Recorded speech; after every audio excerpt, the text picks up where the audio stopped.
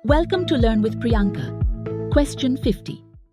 You have a Fabric workspace named Workspace 1 and an Azure Data Lake Storage Gen 2 account named Storage 1. Workspace 1 contains a lakehouse named Lakehouse 1. You need to create a shortcut to Storage 1 in Lakehouse 1. Which connection and endpoint should you specify?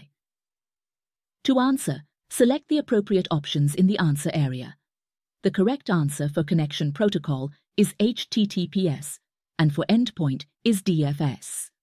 If you initially thought ABFS or ABFSS were correct for connections to Azure Data Lake Storage Gen 2 within Fabric, it's important to note that despite ABFSS typically being used for secure connections, it encounters issues in Fabric.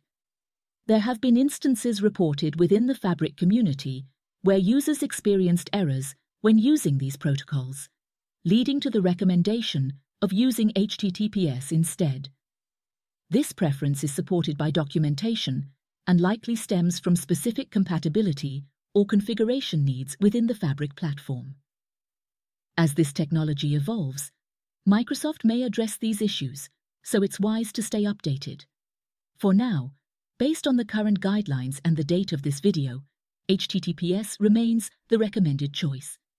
The endpoint DFS is correct because for Data Lake Storage Gen 2, it supports the hierarchical namespace, which is crucial for data lake storage operations, enabling better performance for directory management and file operations. Blob is incorrect because the Blob endpoint is generally used for Azure Blob Storage, which does not support the hierarchical namespace capabilities needed for optimal data lake operations. Using this endpoint would not leverage the full features of Data Lake Storage Gen 2 and could lead to limitations in managing and organizing data efficiently.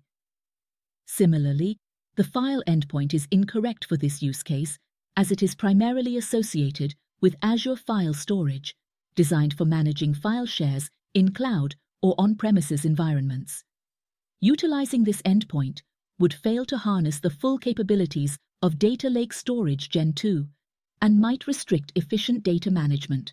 To learn how to create a shortcut to Azure Data Lake Storage Gen 2 in Fabric, please visit the link in the description below. See you with another question. Make sure to like, share and subscribe for more videos.